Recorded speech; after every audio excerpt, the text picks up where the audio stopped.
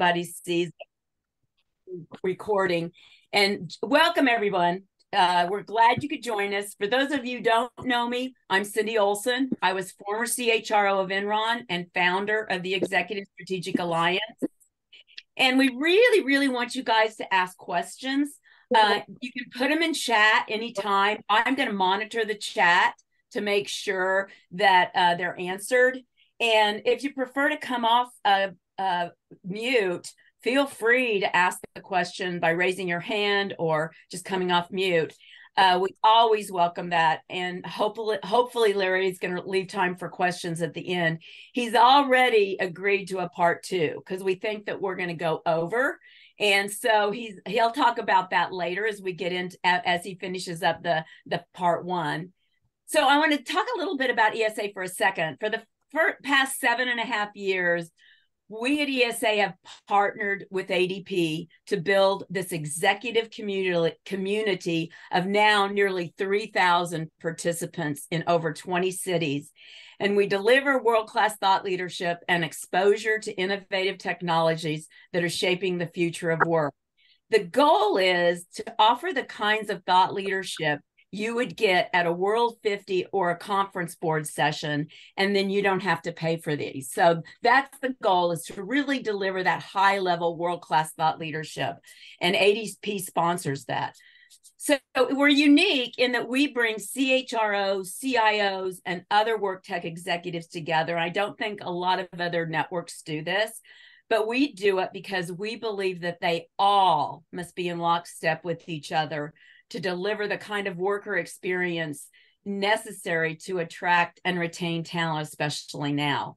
And in addition to the thought leadership, we also offer our participants the opportunity to be WorkTech startup advisors, where executives are exposed to next generation startup technologies and exposure to potential startup advisory positions. And finally, we offer a unique board positioning membership that provides all in one place the resources an executive needs to ultimately secure their perfect board seat. So today I am really excited to welcome Larry Baider.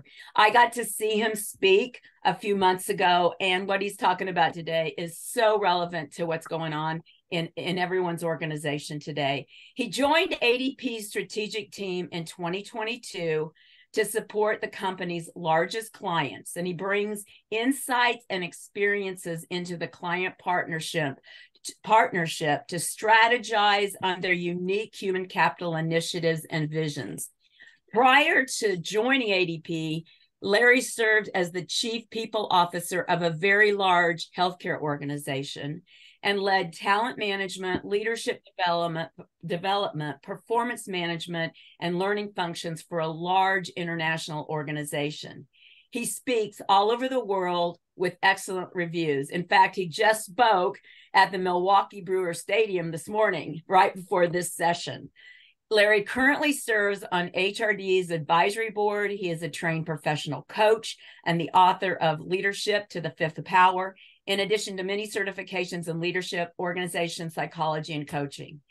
And joining Larry today is Parker McKenna, who leads human capital and culture strategies for Mosaic Inc., one of the nation's largest whole person healthcare organizations, specializing in serving individuals with a variety of long term service and support needs. And in this role, Parker focuses, focuses specifically on strategy development, stakeholder engagement, and creating the best possible experience for Mosaic's workforce across the US prior to joining Mosaic in 2019, he served in a variety of HR leadership and executive roles in retail, education, and transportation industries in a little known company, Union Pacific specifically. In addition, he has served in multiple roles on the boards of SHRM affiliate chapters and state councils, including HR Nebraska. As you can see, we've got a couple of, of really, really great speakers today. So, with that, Larry, I'm going to turn it over to you. It's all yours. Awesome. Thank you, Cindy. And it is an absolute pleasure uh, being here today and talking with all of you. Uh, Cindy, one housekeeping note I keep getting a message that there's people in the waiting room. I, am not sure if, if I should just, I, will get rid of that, but I'm just not sure if we're still uh, slowly letting people in or not. So, oh, you're on mute. Okay, we're good. All right. Well, again, uh, really excited to be here with all of, uh, of you. Um, I was introduced to Cindy when I got here early in my tenure, um, late last year, and have been uh, excited about this opportunity to talk to you all about a topic that I don't think is just near and dear to me. I think it's near and dear to all of us, and if it isn't, it should be. So, uh, you know, uh, the other thing I just want to mention is that as Cindy did, you know, note, please, uh, I I'm comfortable presenting, but I'd rather have a discussion. So if you guys have questions, please just put them in the chat. I know that Cindy and Sean are checking the chat space, um, or come off mute and ask the question, stop me. Uh, we are already planning for a part two. It could even be a part three because I'm going to share with you that what I'm going to talk to you about today is like the 30,000 foot view, even though it's going to feel abridged. Uh, and it is abridged. It, there's a a tremendous amount of texture beneath all of this that I would love to share with you uh, in the right timing. So uh, we could we, we might stop midway through, or we might get through all of it and have part two or three either way. So with that said, let me let me get into the to the meat of this. So um, we're going to talk about uh, leadership in the world of change and transformation, and we're gonna I'm going to start in a couple minutes to to discern the two as well, because I think we use these terms interchangeably, and depending on who we are and what role we serve and where we serve it, um, they might not mean the same thing to everyone. So I want to talk a little bit about that. And then what I'm uh, essentially going to do is get to the heart of what this conversation is about, and it's leadership. And what I want to do is share with you uh, this concept that it's not good enough to lead the way we've always led. Because change and transformation are happening at such uh, blistering paces today that if we as leaders don't upgrade our own internal operating systems, we will not continue to be successful the way maybe we have been in the past, nor will we be modeling the behaviors that we need others to demonstrate so that we can scale the organization and they too can be successful and help achieve the results of the organization. Essentially, what I've done here is collapsed and integrated three separate frameworks into one model, which I'm referring to as a capability model. And I will make sure that as I work through the three stages, I alert you to which one we're on. but uh, one of the frameworks is going to be focused on change and transformation behaviors. The second capability is going to be targeting leadership behaviors that have been scientifically proven to be important in change and transformation efforts and scaling results. And the third is going to be real deep in the cortex of the leader brain, and that's mindsets. And that's the third capability that we're going to talk about. So, on that note, let's get into what change and transformation look like by definition and where they're different. So everyone could probably see our beautiful, uh, I'm a little colorblind, but like purple butterfly on the left. And then we have that wonderful looking cake, calorie filled cake in the center of the screen. These two examples uh, personify true transformation outside of the workplace. And here's why. When a butterfly works through its metamorphosis, it is not a newer and faster caterpillar. It is a butterfly. It's a completely different creature. Once you bake that cake in the middle of the screen, you cannot unbake its ingredients. It's truly transformed. These are absolute examples of transformation outside of the workplace within the workplace, I think that we would all agree that most organizations, most leaders are working through a myriad of actual change processes on any given day of the week, any given month of the year. When it comes to transformation, which is different and larger, I would probably argue that most organizations are aspiring to transform. It's a, it's a completely different level of absorption. One of the ways that I like to make this distinction pragmatic is when I think about these two uh, workplace definitions of change and transformation, I like to think about it and talk about it this way. Change starts with the present, but it's focused on fixing so that you can have a different future, right? Transformation, conversely, starts with the future in mind. And for that reason, it's focused on creating. So again, change starts with the present and it's focused on fixing, whereas transformation starts with the future in mind and it's focused on the creation process.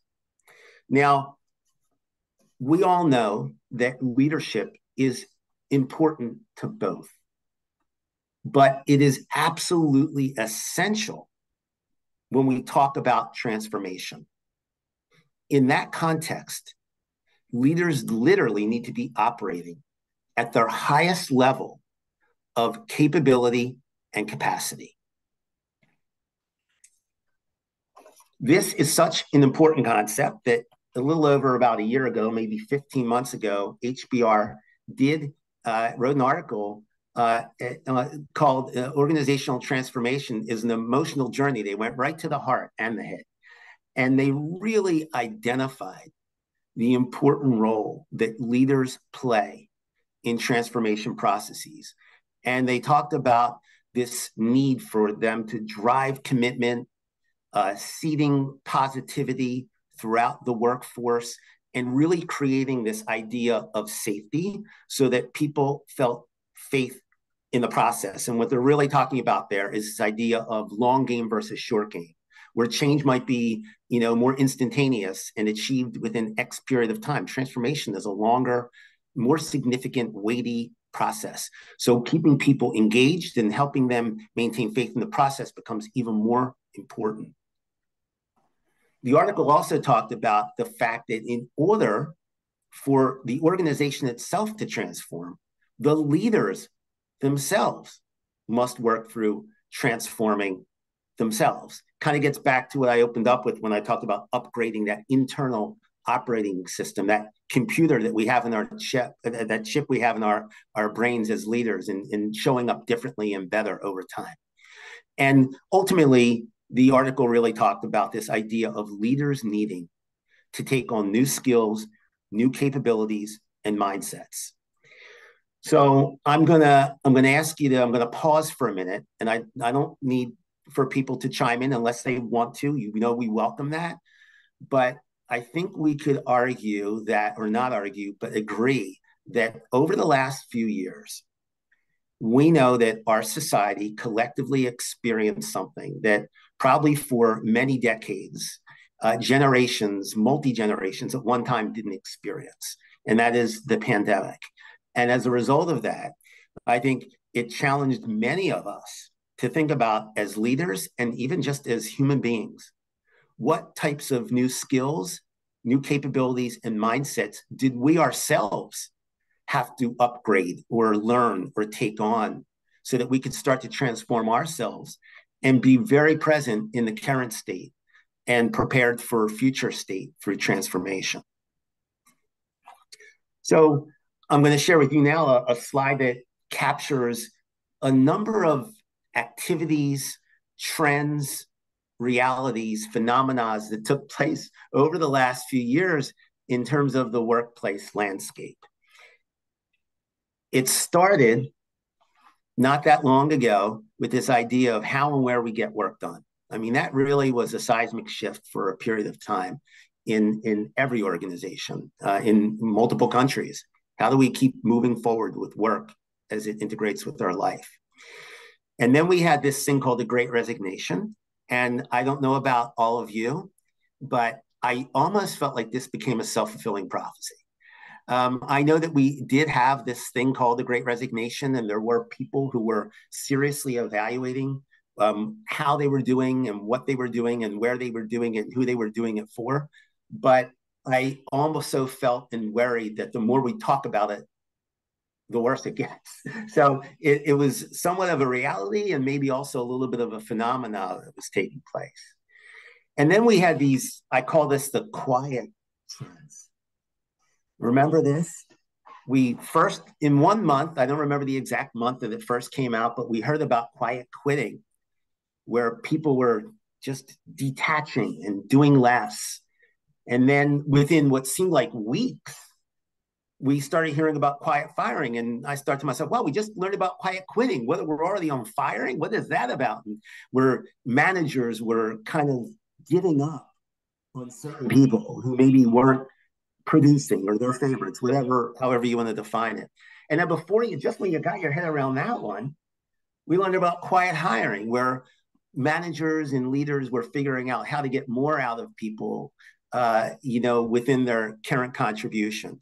Uh, to me, this like rapid firing activity almost happened so quickly. I don't know how could it even been defined as a trend but it was phenomenon like and it was reality these things were happening but they almost took a life on of their own this is not a trend per se and it's it's a reality it's not a phenomenon people analytics and data is where it's at um, it's continuing to just become a, a, a, the, the fiber of the organization and how we make decisions around every element uh, around the strategy of an organization DEI is continuing to evolve. Even now, we're, you know, we're, we're really seeing some fluctuation in organizations' commitment and did they do it the right way? And however you want to talk about it and define it, DEI is here to stay. It's continuing to evolve. And I think organizations are figuring out how to make it work in a meaningful way so that it's sustainable uh, and, and valuable within the context of an organization major technology trends. We're not going to get into that today, um, but whether it's AI or ch- the chats, uh, we're continuing to just absorb massive amounts of change and uh, yes, transformation as it relates to technology trends. The mm-hmm. employee experience is probably ranked up in the top two or three of what most uh, leaders and organizations are thinking about today as how we get work done does continue to change and then even skills based development, moving away from the more traditional way we look at jobs and roles. It continues to be uh, an evolution uh, as we talk today. And then I love to talk about this one because I think it's somewhat central to what we're talking about today, and that is this idea of employee health and well being. Um, you know, uh, when we talk about employee health, we're pretty much always talking about physical health now we talk about health in the workplace, I honestly believe we're talking as much about what's going on between the ears in our mental health uh, as we are anything else. And we talk about well being, we're even starting to talk about financial well being today and how that intersects with emotional health and even people's engagement in the workplace. Because if I'm worried about how I'm going to pay my utility bills in three months from now, I'm probably pretty distracted in the workplace. So all of this matters as it starts to collide and, and become reality in the workplace. And then last but not least, we are hearing more and more and continue to hear more and more about this idea of pay equity and pay transparency. So I want to take a pause for a minute here and I want to bring Parker into the conversation because he and I met earlier in the week, um, similar backgrounds, and just wanted to make sure I was touching base with some other uh, people in, in the alliance in the uh, in the group, and I wanted to ask Parker to step in. And Parker, ask you, how does this? Because I didn't show you this slide before. How does this resonate with you? Would you add five more of your own? And what are your thoughts just about your own experience in the workplace landscape over the last few years? Sure. Well, Larry was going to tell you, I, I, love this slide. I think it's just a great backdrop for a lot of the things that uh, you know we're we're experiencing right now as HR leaders. Um, and I also love how you open this idea that you know leading as we always have is not the ticket to, to getting us where we want to go. I think, excuse me, I would just sort of add as an underpinning to this that I think in order for us as as HR leaders to provide really solid guidance to our CEOs and to boards and to our executive teams, we also have to recognize sort of what is the the root cause of some of this uh, shift and transformation that we're seeing um, I think the pandemic is a big part of it. I think it's an accelerator. Um, I don't think it's all of it, but I think it's a big part that's accelerated some of the the, the change that um, we've seen. A lot of this um, is not necessarily new uh, in terms of the challenges that we're dealing with, but I think the root cause is either intensified or is maybe slightly shifted as a result of some of the so societal issues, some of the economic issues, and some of the issues surrounding the pandemic that we're feeling. Um, so you've got some great examples on the screen here. I think you know DEI is a big one right now. This idea of um, what got us to this point is not going to get us to the future. Um, if you think about the focus historically on diversity and looking to see how diverse our organization is, I think we're seeing a shift to a focus on inclusion and uh, ensuring that we have inclusive workplaces where people feel a sense of belonging. And uh, then when we do increase our diversity, that diverse talent feels that they can be successful because they feel a sense of belonging wherever they go, um, as opposed to the to the other way around.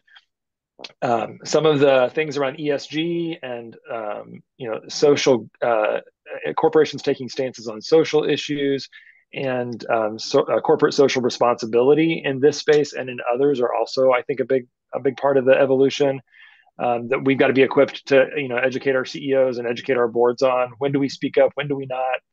Uh, when do we take a position? How do we communicate that position to our workforce so that they continue to feel that sense of belonging um, and they don't feel alienated because they may not exactly agree with what we've said as a as a corporation.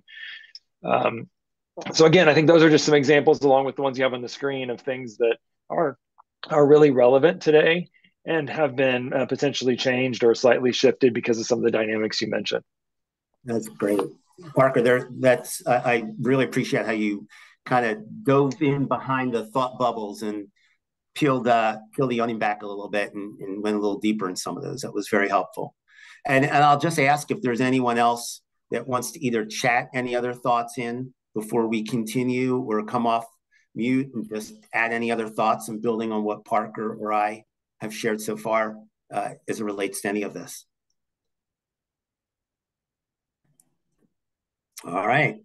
Well, if you change your mind, feel a way to, you know, please chat, chat away or come off mute. And we do have a couple chats. I don't know uh, if uh, Sean, you want to just check out those uh, items and see if it's any questions or additions that people have.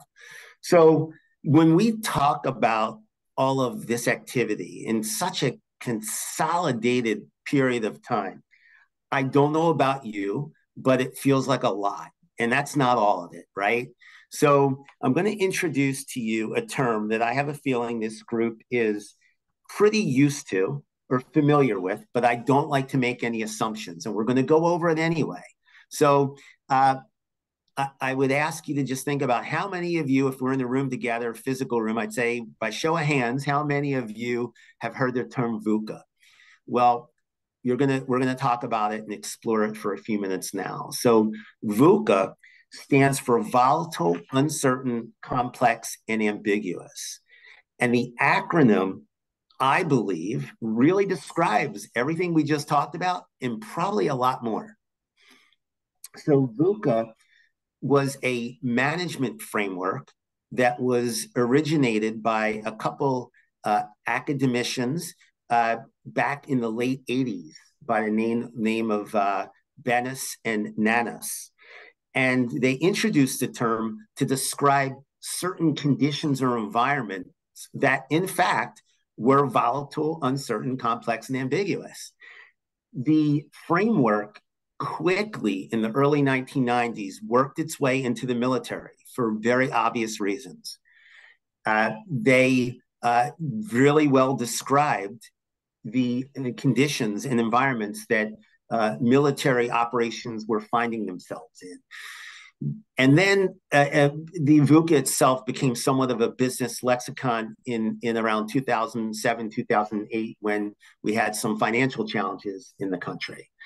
And then as of late, you're hearing VUCA and VUCA more and more described and explained uh, to really just talk about our current state as a society, which is why when VUCA was first originated, you may have heard the term VUCA environment and now you're hearing the term more often described as a VUCA world because what we've experienced and was accelerated through the pandemic and continues beyond the pandemic is just this very accelerated uh, experience that is very collective in nature.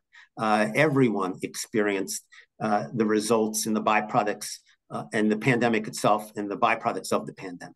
So, and it impacted and you know infiltrated every part of our lives, including what we're talking about today, which is the workplace. So, while VUCA uh, feels, let me actually let me go into a little more detail on VUCA itself. I do have another slide that describes the the acronym in more detail. So, when we talk about VUCA, uh, it stands for volatile, which means that the pace of change is very rapid. The U in the acronym stands for uncertainty. And that's where they're talking about the present being very unclear. And for that reason, this is what's important it's difficult to predict and forecast what's coming around the corner, which can be very unsettling in organizational life, where we're often hedging our bets and building strategy around what we think the future is going to be or look like. The C stands for complex, which means there, there are many interconnected parts. And for that reason, there's a likelihood for high levels of confusion. And last but not least, the A stands for ambiguity or ambiguous.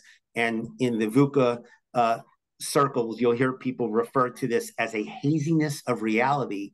And for that reason, there's a high potential for the misinterpretation of many things, including what's being communicated or decisions that are being made. So that's VUCA. So I want VUCA for us within the context of this conversation to be uh, kind of like the front door or the backdrop for the capabilities that we're going to talk about in just a minute. So VUCA is our, our backdrop. So as a, as a backdrop or management framework, when we think about VUCA, it's very helpful because it gives us words and language that explain what we are collectively experiencing. But some people, including myself, might say, well, where do you go from there? It's great to be able to define it and use language, but what do you do with it? Well, I'm not the only one that had that thought. Many other smarter people have before me. And one of those is a guy by the name of Bob Johansen. So in 2008, Bob Johansen, who is uh, uh, tagged as a futurist, came up with this idea called VUCA Prime. So remember, I said there's three capabilities that we're going to talk about today VUCA Prime, leadership behaviors, and mindsets. This is capability number one, VUCA Prime. So Bob Johansen said, well, VUCA is great, but we got to do something about it. How do we pivot around it? How do we navigate the VUCA world? And he came up with another counterbalancing model that he called VUCA Prime. So what we're going to do is work our way through and just explain at a high level the different features of VUCA Prime. But before we do, just a couple things to think about. A lot of people today are talking about change management and models that are more traditional, whether it's Kotter, uh, McKinsey 7, Kubler, Lewin, you name it, and there's a lot of them. They sometimes are not uh, adequate enough to help in application as we work through transformation processes today because things are happening so much more quickly. So when you think about VUCA Prime as a capability to help with transformation in organizations, it's helpful to think about it as an open source engagement approach. And you're going to see more about that in a minute. But what that really means is that top down approaches to change management don't really work that much anymore. And if they do, they're not working well enough at the pace in which we're operating. Another important, I think, kind of level setting comment around VUCA Prime is that it wasn't intended to get, for any of you rafters out there, grade five on the East Coast is the highest and grade 10 is the highest on the West Coast. Well, VUCA Prime is not about getting the grade five rapid down to a one or two before we can say, all right, now we can move forward. We know that's just not a reality anymore. VUCA Prime is about building acumen and applying principles that help organizations succeed and scale even in the midst of the most rapid waters, the grade four and the grade five. So just keep those two things in mind as we kind of work our way at a high level through VUCA Prime. So before I go any further, I'm, I'm, I'm going to pause and just ask if anyone wants to come off mute and ask a question about VUCA and VUCA Prime before we get into the breakdown of the first capability model, which is VUCA Prime.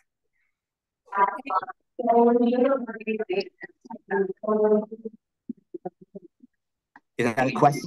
Someone just coming off mute. Yeah, I've got a question, and it has to do with transition management. We talk a lot about change, and we talk a lot about transformation, but it seems to me that I'm seeing a lot of effective change processes get scuttled by poorly managed transition from the old to the new. So where does that fit in your model? Yeah, that's a that's a fair question, and I don't know that I'm going to answer it in its entirety now. I think some of it might be answered as we as we break down VUCA Prime, and I think that uh, you know at face value, if I'm understanding the question, it's it's really about leaders at all levels, Rick, absorbing new principles that will allow them to act more quickly and behave differently so that they can lead transformation versus the more traditional change models that are more top down and don't involve as many people where you gain momentum in the process to try to achieve what you're trying to achieve. And I don't know if that answers your question, but I, think some of it's going to be answered along the way. But tell me if I was way off base in the response. I don't think you were. And I'll listen attentively as we go along. Okay, let's see if we can answer those things. Okay, hey, Larry. Larry, yes. there's one question that I want to I, I want to bring in. Deanna Farmer has it in chat, and and when you said something about you know it's not uh, top down man leadership top down, this is really relevant to that. She said perhaps within the employee experience, I might wonder if an additional trend is challenge debate around remote hybrid in in and out of office. Um, and this this really kind of my question around this is and if it's not a top down how are these leaders that are mandating people come back to the office how is that going over yeah i and i would open that up uh, if you're open to it to anyone else in the in the group here who is actually experiencing that and navigating that right now I can maybe just jump in for a quick second. I, I um, first off, I think the the whole concept around VUCA as a um, you know just a model for navigating some of this change is great because it's it's business and HR leaders live in this world every day, and I think I, it's really two levels, right? It's often we're faced with a challenge right in front of us, which is a, a VUCA challenge. I'm on a boat in the middle of the ocean, and my engines quit. I mean that I don't know why. The the problem and the solution are uncertain. Situations volatile that's right in front of me. I, there's a storm coming and I've got to figure it out. There's that bigger macro issue that often is going to affect the way we address the issue right in front of us. I think the return to work, the hybrid situation is, is an example of that. I think there are all kinds of examples of that. Um, you think about the uh, thinking back to like uh, George, the, mur- the, murder of George George Floyd, and other examples. Um, we have to deal with this situation right in front of us, but there are these undercurrents that really affect the overall um, solution. Um, my my thought on the on the remote and, and in office situation, you know, really, um, if you cannot articulate a really clear business justification for um, exclusively requiring employees to be in the office and not offering some sort of hybrid work arrangement, I think you're really going to be uh, limiting your your talent pool. Um, and I think you're going to see that on two fronts. One, just you know, from a competitive landscape um, perspective, a lot of employers are offering that um, as a part of the workforce value proposition to their to their workforce. And then, secondly, employees are just, I think, generally less likely today than even maybe a few years ago to simply adopt their employer's position on some of these issues. They are interested in more transparency, more insight into the decision making process, more voice in that decision making process. And, um, you know, if you come out with a policy that just says this is the way it's going to be, um, I, I, don't I don't think that's a successful strategy um, for for talent attraction and retention moving forward. And I think, by the way, that applies to lots of other other situations too. Um, you know, uh, pick a pick a topic: wage inflation, DEI, all these issues that are are top of mind for a lot of HR business leaders. If you don't, you know, find a, a way to involve employees and give transparency to that decision making process, uh, I, I, think that that's a, a potential opportunity for, uh, you know, dissatisfaction, turnover, those kinds of things. Yeah, great. Anyone else want to add to what Parker shared? And that was Deanna with the question, right, Cindy? Yes. Anyone want to field Deanna's question a different way or add to what Parker added? Quiet group today. It's okay. Yeah. All right. Well, there's time whenever you want to hop back in. We appreciate the questions though and the interaction. So, all right. So that was the kind of the the the VUCA Prime Bob Johansen, here's how you make VUCA more actionable. And we're going to dig into it a little bit now. And I'm going to share with you uh, this framework where, again, these are more like organizational leadership teaming behaviors as the first uh, as the first uh, pass at this capability model. And what I did was I just I'm going to share with you the the breakdown uh, in some sound bites and what that looks like. So what Johansen did was he said, we're going to mitigate volatility with vision. And what he's really talking about within that particular element of the model is he's talking about how leaders need to start using vision maybe differently. Uh, and that could mean more local visioning. It could mean aligning uh, macro vision to local visions, whatever it is. It's asking and requiring that leaders think about how they use vision differently. And that within the context of the VUCA world, they use it to help other people, their workforce, see through turbulence. That is the, the, the baseline of what he's talking about in this context.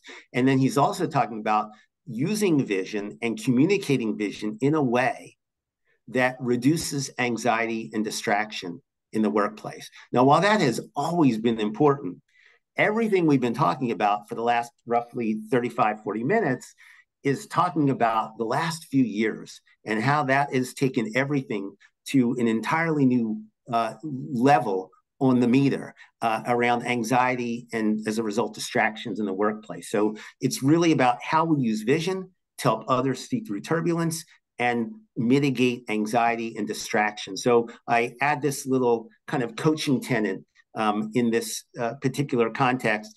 And you'll sometimes hear this phrase, uh, choose compass over map as it relates to this particular feature of VUCA Prime. Because rarely is what we're trying to achieve going to be a linear outcome or process. There's undulations, there's U-turns, there's right turns and left turns. It's about staying focused on direction uh, not so much being married to the only one or two ways to get there. So that's kind of the one of the extrapolated tenets around vision in this model. The second component of VUCA Prime is understanding. And here, what Johansen is really talking about is how leaders gather information. And it's very easy for leaders at all levels to be very set in their ways about who they go to to learn from and who they trust. And this model is uh, imploring leaders to think about expanding their networks, going deeper in their existing networks and getting new and fresh perspectives, but also going wider and challenging leaders to go outside of their existing networks so that they can learn from other people and gain fresh perspectives. Another feature of the understanding element is how leaders communicate, not just about vision, but generally speaking. And that means that leaders need to learn and upgrade their own internal systems, as we were talking about. And you know, whether you hear and use the term lean in, tune in, whatever it is, leaders at all levels need to figure out how to listen more empathically. And that means whether you know taking the time to really hear what people are saying listening uh, you, you hear sometimes people talk about like leaning in and listening with their full body but really hearing what people are saying uh, and, and, and being able to uh, respond to that. Uh, you'll sometimes uh, hear that term you know we're, we're often listening to respond versus listening to ignite and to understand. That's what this is about. So one of the key coaching tenets that aligns to this particular element of VUCA Prime is this idea of how we learn and the amount of information that we take in today, and sometimes hold on to information that we don't need or that isn't working for us. So interestingly enough, this is really for those many of you may know this, but this is a formal learning process that was made famous uh, by another futurist by the name of Toffler, and uh, he talked about this idea of intentionally um, um, leaving things behind that don't work so that we can make a space for the new things that we need to learn and absorb and reapply. So those are the first two features of VUCA Prime. The uh, third feature of VUCA Prime is clarity. And clarity in this model counters complexity. And here we're talking about critical thinking and decision making. And Johansen is trying to talk about this idea that in order to help people understand and decrease complexity or limit it, it really comes down to being able to break uh, challenges down into the interconnected parts so that people can truly absorb and understand how decisions are being made. And I would even say how they contribute and innovate around those decisions, which leads to the second feature of clarity. And that is where leaders needing to uh, include more and more people in this uh, skill of critical thinking. You know, it's not enough anymore for just a few leaders or the top leaders of an organization or leadership teams themselves without the rest of the workforce being skilled in critical thinking. We need more and more people in the organization at all levels, even individual contributors, to be build acumen in critical thinking so that they can share ideas and innovate along with the rest of the leaders in the organization. Now, as a result, not only will they be better engaged, we didn't talk about this yet, but we're talking about building then a, a culture of trust where people know that what they have to say and add means something. Now, in terms of one of the uh, key coaching tenets around clarity, uh, the we talk about simplicity and driving as much simplicity throughout the decision-making process as possible. The fourth component of VUCA Prime, and we're still hovering in our first capability of this three-part model, is agility. And in this model, agility counters ambiguity. And this is a challenging one because we're asking that leaders become more comfortable and maybe even have a little faith in making decisions in times that don't necessarily always allow for past history and the cause effect relationship that maybe we had uh, as a frame of reference before we make a decision. So we may have to say, I don't have all of the possible intelligence that I need to make this decision based on past experience, but I have enough to make the decision that I know we need to make in this condensed period of time. And that's where agility comes into play. So it's this idea of being able to increase our acumen with making assumptions around the best options available. And I'll go back and build on what we talked about earlier.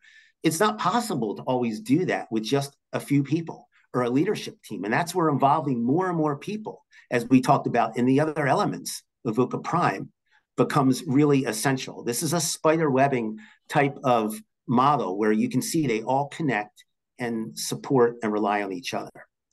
And the next component of the agility uh, element is this idea of promoting a culture of experimentation. Again, that's involving people uh, outside of the uh, traditional team or the go to trusted advisors in an organization. But the slippery slope, I believe, with this particular element is that if we're going to tell people we want you to experiment and we want you to become comfortable with this fail fast concept. We have to let people uh, fail and make it safe for them to fail. We can't give them the permission to uh, make decisions, get involved, share their ideas, and even take risk, and then uh, you know hold that for lack of better terms, against them if it doesn't work out the way we were hoping. So it, it, that's where this whole concept of growth mindset comes into play, even though we're getting ahead of ourselves here. But this idea that we need to make it safe. If we're going to ask people to take risk and mitigate risk aversion and get people involved, we need, need to make it safe for them to do so. One of the ways we drive agility in an organization is to do this thing that we call change the metronome it is, in fact, up to the leaders of an organization to change the cadence of the organization as it relates to setting strategy, execution, and decision making, and any other responsibility of leaders that you can think of in an organization. So that brings us to the conclusion of the first capability within this model, which is VUCA Prime. So, Cindy, I'd like to bring you back into the conversation for a minute for a little bit of a housekeeping check because we're at about 12 minutes of the top of the hour. And I'm just going to be getting into the next capability, which are leadership behaviors. And they're probably going to go beyond the, uh, the top of the hour. So, would you suggest that we stop here, take a couple more questions, do a little recap, and then hold the rest for part two because we're never going to get the rest into the conversation. Yeah, I think that's a good idea, Larry. I I would suggest that you bring Parker if if Parker is willing to do this, bring Parker in to comment on the uh, capabilities that you've been talking about in VUCA Prime, Great. and then I've got a question, but I don't want to I don't want to ask that question unless everybody else has asked theirs. But I think you're right. Let's use the last 10 minutes to answer questions, get Parker's feel on it. Anybody else that wants to come off mute and and weigh in. Uh, I know there's several people that said they did they never heard of VUCA. So okay. oh, is is it clear now? And what other questions might they have? Okay, so before we do that, and thank you, and, then I, I think that's the right move, and then uh, Parker will come in and, and add some color. Uh, uh, remember, for the next two parts, we're going to really go deeper in this capability model. We're going to talk about true leadership competencies that have been tied to leadership effectiveness and predicated on the VUCA framework, and then go a layer deeper and talk about mindsets, psychological constructs that have been also linked to leadership effectiveness and to business results. So that will be coming up in part two once that's scheduled. But Parker, over to you, and then let's entertain some other questions.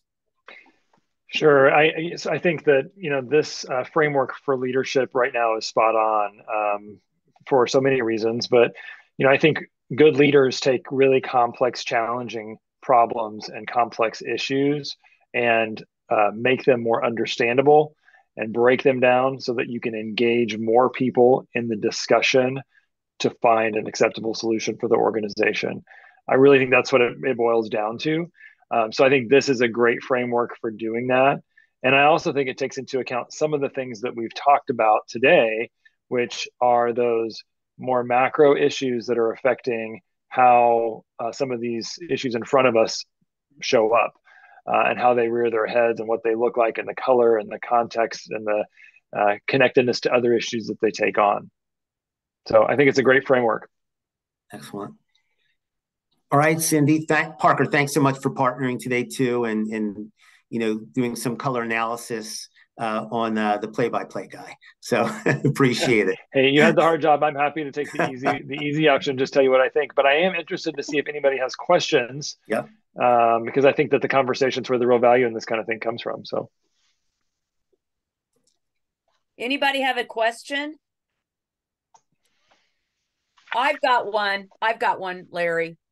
So on agility, and this comes from experience where uh, when I was a CHRO, is how do you get people? I think it fits into this agility.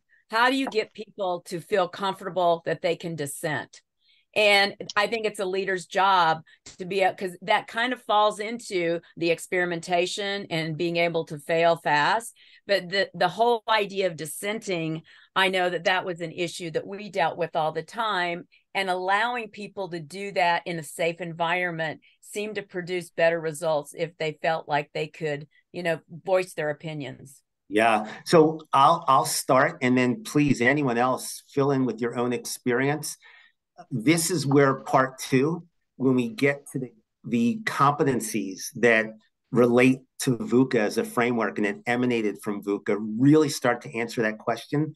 There are behaviors and competencies that lend itself to uh, involvement, innovation, inclusion, uh, uh, uh, tamping risk aversion. Uh, that's what we are absolutely going to talk about. It really comes down, in my opinion, my humble opinion, to the individual and collective leaders upgrading their capabilities around these important behaviors uh, so that they truly, when they ask for dissent or are open to it or are looking for uh, different opinions, mean what they say and that they really want to hear what people say because if they don't upgrade their own ability and acumen in absorbing that variation or that difference of opinion, they're going to go into what we call a reactive mindset. And they're going to fear bite and they're going to they're going to actually diminish the creative competencies that I'm referring to that lead to scaling leaders and the workforce at large. Thanks, Larry. Cindy, hey, can I add one thing, Cindy? Is that okay? Yeah. So I, I think I, one of the things that's important to your question is I think organizations have to be really clear about what dissension is and what it isn't, and what they will do and what they what the organization will do when the dissension is voiced and what they won't do. And I think that creates the space for that to happen. Um, dissension is not arguing. Dissension is articulating an informed, educated position that happens to be contrary to the current voice in the room. Um, dissension is not throwing stones from the shadows. Dissension is being visible and being a part of the solution and just simply articulate, articulating a different point of view. Um, if that happens, here's what we're not going to do. We're not going to say we want it and they're going to go behind closed doors and complain about it. We're actually going to be open to receiving it. And so I think part of that is um, articulating that and then also including it in your culture and your expectation with your executive team. Because I've I've been in organizations I know we all have where they say they want an alternate viewpoint they smile and nod when it's when it's voiced and then they go in the room and say well it wasn't that ridiculous that somebody even had the you know so you can't have that type of culture uh, because employees will see right through that and know that that's what's actually happening. So uh, just a couple thoughts as you as you mentioned that that uh, i wanted to to voice. And i see we've got a hand there too. Yeah. hey david. Hey there. Yeah so I, I just wanted to make the comment that i think one of the challenges is that people will want this to end. They will want a way through and and they will want sort of resolution to the ambiguity and the complexity and all of those things. And I think one of our challenges is I think you you had a slide previously that that said the now normal or or maybe it was supposed to be the new normal. But but I think part of our coaching of people is to is to reset the expectation that this isn't something that we're passing through. This is something that we're immersed in, and it's a condition by which we have to or in which we have to operate. Amen. And you did read it properly. It is the now normal because I got tired of calling it the new normal because it's here. Yeah. Yeah. Good point. And Mindy, you had asked a question about going back to the VUCA slide. I'm not sure which slide, but I forgot to mention, guys. I will send these slides. I think Larry, are you okay with uh, us sending these slides to everybody that attended? Yeah, what I'll do is I'll chop it up though, so I could at least send out what we reviewed, and then we could send out the second half so there's context to it. Okay, perfect. Um, any other question? Um, Mindy, did you want to say something? I don't hear. Um, I made a comment in chat that so this is my first uh, introduction to VUCA, and we then kind of focused on the ambiguous um, or the agility at the end, which was totally fine. And the the idea of dissension and experimentation is obviously a good one and having psychological safety to feel like someone can do that but there clearly are many many companies that you can't do that you you can't have experimentation or dissension because let's say it's a medical facility and you know the surgery has to go this way or whatever. So i just i was just thinking about having access to this. And as a leader you need to um, you know decide with if you're the lead leader or if you're just on a team and and where the potential is to put it into use so that was i was yeah. just i was just considering and, all of that. This is new so i was just thinking about yeah. times when it can be put to use and then times when it, it can you know military hospitals surgeries. I was just thinking of you've got to be cognizant about the um the opportunity to put it into play. So yeah, that was it's a that's a great thinking out loud thought. I, I, appreciate that. And i think you you said it. It's all about context. Mm-hmm. right? It's no different you know than coach someone to get out of a burning building you're going to burn the building. You're going to drag them out, right? right? Uh, so, so it's no different than VUCA Prime. How do I find the uh, the the toll booths or the or the entry points on the parkway to to uh, weave this in to the fiber of the organization and that's why it, it's going to come down to what we're going to talk about in part two which it's really starting i'm showing you an outside in approach but what I'm really trying to get to at the end of the day is an inside out approach. You got to start with the abilities and the capabilities and the acumen of the leaders so that they can do this this way. Thank you, though. Great thought. Okay. Yeah, thank you. Thank you. Larry, we're close to time. Anybody else have a well? There's one new message. Let me see what that is.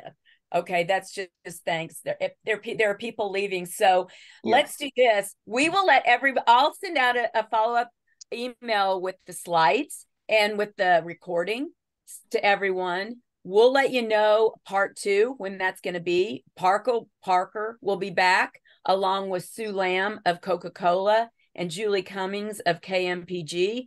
And we may have another pan, uh, guest executive. If anybody on wants to be a guest executive, let me know because I think that's where you get some really good discussions. So thank you to Larry. Amazing. Thank you to Parker for being a amazing guest executive and voicing what you guys are doing at Mosaic. We really appreciate it. And thanks to everybody on for taking your time to be here. Thank you so much for having me. Okay, thanks. Bye, guys. Bye-bye. Bye.